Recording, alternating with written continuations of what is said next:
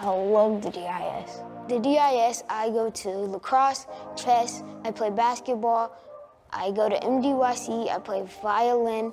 Most of the time, I walk with one of my friends so we can go to our programs. The Durfee Innovation Society and Life Remodel has helped Ke'Von tremendously and been an excellent resource. And I made sure to sign him up for every program. If it's his age appropriate, he was gonna do it.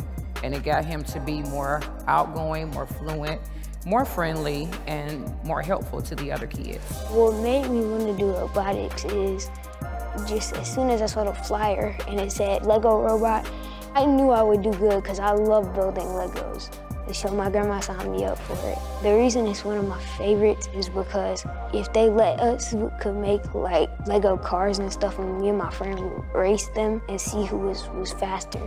It's helped me be more creative, especially robotics, and it helped me be unique because every robot looked different. I would recommend that everyone comes up to the Durfee Innovation Society because there's something for everyone to do. The kids, the adults, the grandparents, it's something for everybody in the building. Looking forward to go every day.